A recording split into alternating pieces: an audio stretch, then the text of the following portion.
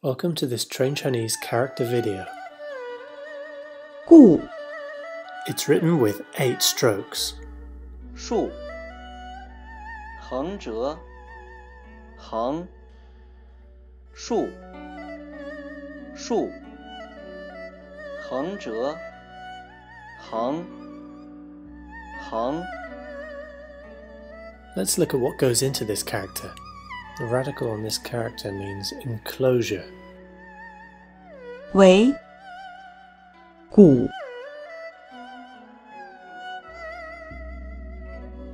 Let's look at some examples.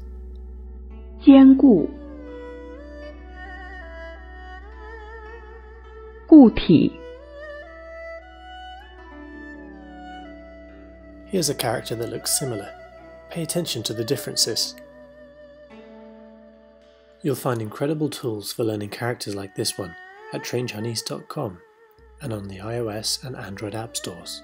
Just search for Train Chinese.